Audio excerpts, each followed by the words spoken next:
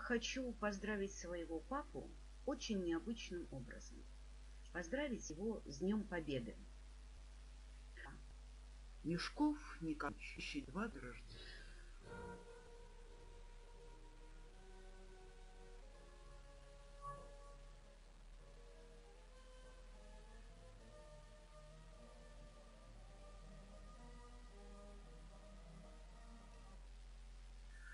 1926 года рождения. В свои 16 лет, в 1942 году, он пошел добровольцем на фронт. На вопрос о том, что побудило его, вообще такое высокое чувство патриотизма, папа без ложной скромности ответил честно – ну, насчет патриотизма не знаю, но уж очень боялись умереть с голоду.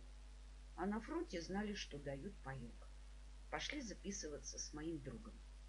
Ну, с первого раза нас не записали, видимо, военком нас пожалел. Но со второго раза записали. Вот такая история. Прошел папа войну э, с 42 -го года по 45 год. О военных годах рассказывать не буду. На войне, как на войне. Контужен был. А так спас Бог. И я так думаю, что оно так и есть. Можно представить себе только, только можно представить себе, но даже страшно представлять, какие чувства испытывала его мама, когда он объявил о том, что у него уже на руках вот повестка, и что он сам добровольцем. Потому что в это время Папин отец уже был на фронте, и от него уже не было никаких известий. Также не было известий от его старшего брата, тоже уже ушедшего на фронт, дяди Володи. Кстати, давайте вспомним их добрым словом, помянем. Потому что папин отец пропал без вести, и не, он не вернулся. А дядя Володя вернулся с фронта, это папин брат старший, вернулся с фронта без ноги. Правда, это было счастье, что он вернулся, но сейчас его уже нет в живых. Ну и, как говорят, Царствие Небесное, они в нашем бессмертном полку. А папа мой, пусть хоть и контужен, вот, но вернулся жив, здоров и невредим. И уберегла его, как предполагаем, иконка, которую дала ему его мама. Ну что я хочу рассказать о своем папе? Я хочу сказать о необыкновенной самостоятельности, о необыкновенной силе любви к жизни, о необыкновенном вообще каком-то спокойствии, мудрости и необычайном энтузиазме и веселости. Вот о чем хочу рассказать. Я на этих фотографиях, которые вы сейчас, наверное, уже посмотрели, ну, выставила, в общем-то, те фотографии, на которых мы все вместе в прошлом году, в 2015, отмечаем 9 мая в Орле, где и живет сейчас мой папа с семьей моего брата. Выставила фотографию, где мой папа занимается, обучает чтению своего правнука, моего внука. Вот они там вдвоем на кухне сидят за столом. Обратите внимание, два кореша заняты очень важным делом. А последняя фотография, эта фотография сделана три года назад, когда моему папе было 87 лет.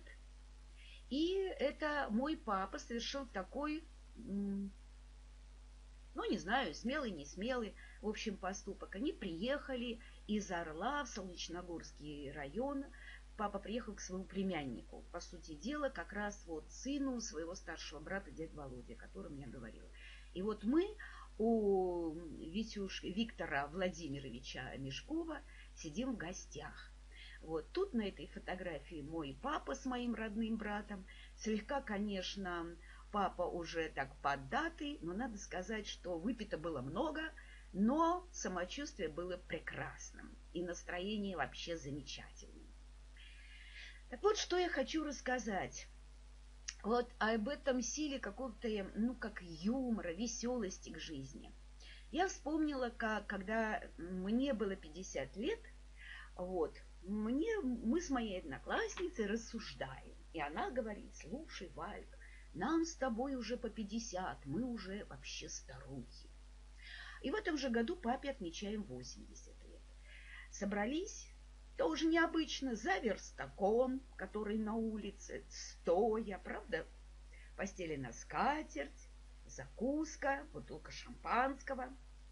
Вот и папа, когда мы его поздравляем, вдруг произносит, ну что сказать, теперь могу сказать уж однозначно, что я все же уже повзрослел.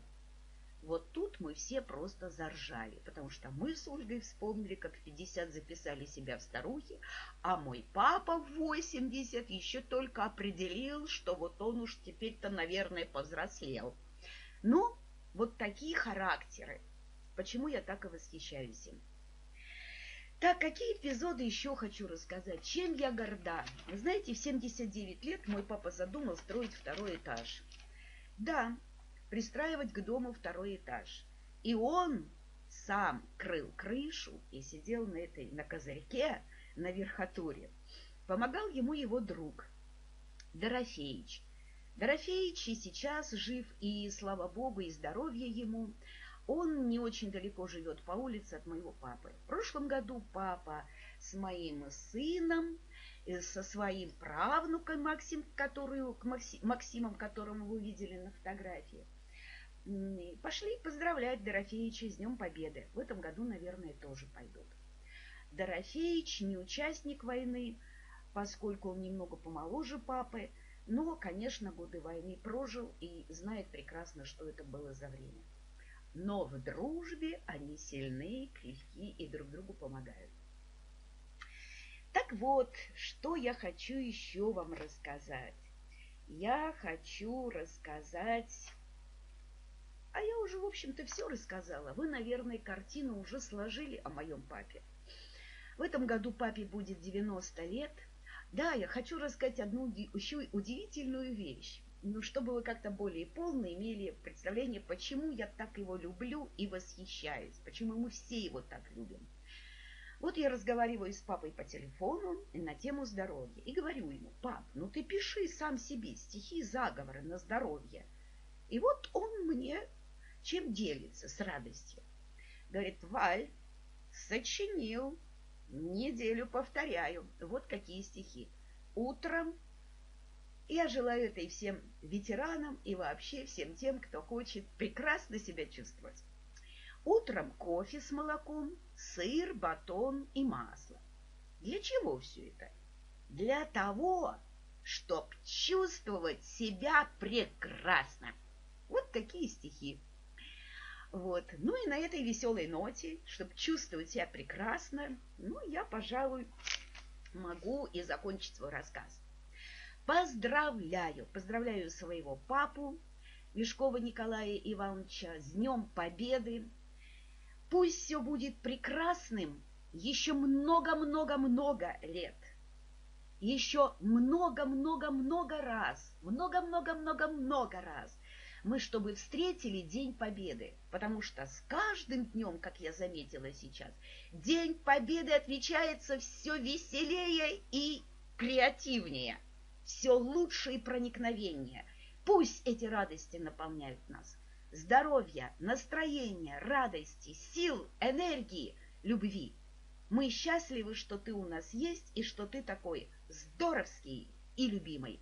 Поздравляю всех участников войны, всех тех вообще, кому дороги эти воспоминания, тоже, то есть даже и моему поколению, и поколению внуков, и поколению правнуков. Я поздравляю с нашим великим настоящим праздником, Днем Победы!